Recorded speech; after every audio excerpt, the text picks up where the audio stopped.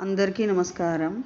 పోయిన భాగంలో మనం లలితా త్రిశతి నామాలలోని యాభై రా ఆరవ నామం యొక్క అర్థాన్ని తెలుసుకున్నాం.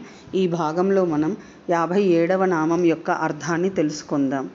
అస్మద్గురు దివ్య చరణారవిందాభ్యాం నమో. నమ అశేషజనమోహినీం అరుణమాల్యభూషాంబరాం జపాకుసుమభాసురాం జపవిధౌ స్మరేదంబికాం శివాయ గురవే నమ శ్రీగురు పదాంభుజములకు సభక్తికమైన ప్రణామాంజలి సమర్పణతో లలితా త్రిశతి నామ సంఖ్య యాభై ఏడు ఓం ఈతిబాధా వినాశన్యై నమ.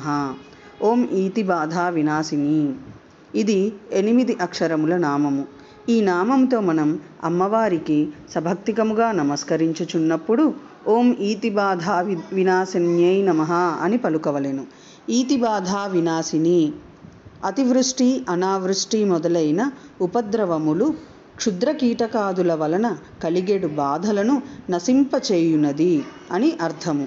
ఈతి బాధలనగా దైవికముగా సంభవించడి అతివృష్టి అనావృష్టి మొదలైన ఉపద్రవములు క్షుద్ర కీటకాదుల వలన కలిగేడి బాధలు తాదృశ్యములైన ఉపద్రవములను నశింపచేయునది కాన శ్రీ లలితా మహాత్రిపుర సుందరి పరాభట్టారిక ఈతిబాధ వినాశిని అను నామముతో ధ్యాతవ్యమగుచున్నది.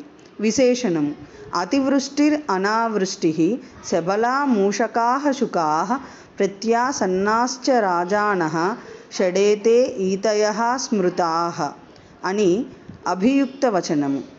అతివృష్టి అనావృష్టి మిడతల బాధ ఎలుకల వలన బాధ చిలకల వలన బాధలను చెట్టు కాయలను పండ్లను చిలుకలు కొరికి వేయుట ప్రత్యసన్నాలైన సమీప పస్తులైన రాజులు పాలకులు ఈ ఆరు ఆదిదైవిక ఈతి బాధల్ని పెద్దలు చెప్పుచుందురు.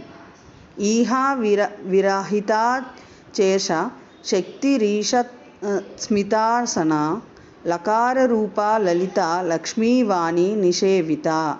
ఓం ఐం హ్రీం శ్రీం ఈతిబాధా వినాశన్యై నమ.